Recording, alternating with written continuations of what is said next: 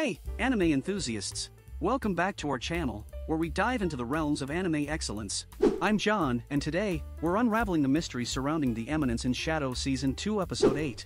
Get ready for some speculative excitement. Episode number 7 of The Eminence in Shadow Season 2 has huge anticipation surrounding it after episode number 6 has completely upended the anime's status quo. This sort of major change to the show's structure is only possible with the Eminence in Shadow's great hero Sid, who is chaotic enough to make it happen.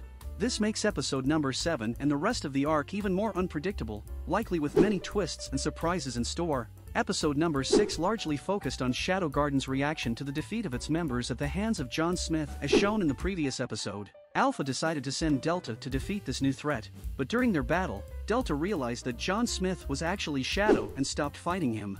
To maintain his cover, Sid sent Delta on a mission far away but this caused the rest of Shadow Garden to believe that Delta was dead.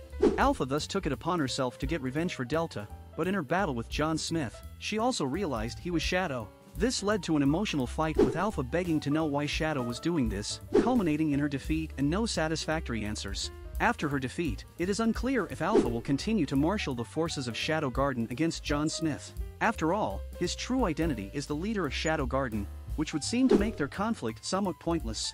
However, Sid didn't give Alpha a good reason why he was doing what he is doing and since it appears to Shadow Garden that he killed Delta they might decide that he has completely forsaken the organization and treat him as a major threat.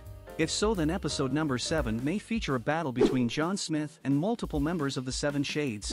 While the conflict between Sid and Shadow Garden is the most interesting part of this arc, episode number 7 could also focus more deeply on the arc's main antagonist Getan. He has been slowly built up as a major threat even though he has not directly confronted John Smith yet. Given the escalating economic crisis, though he may finally take the time to act now, all of these different exciting plot threads mean that The Eminence in Shadow Season 2 episode number 7 will surely be an awesome new installment that will continue to cement the anime's status as one of the best isekai.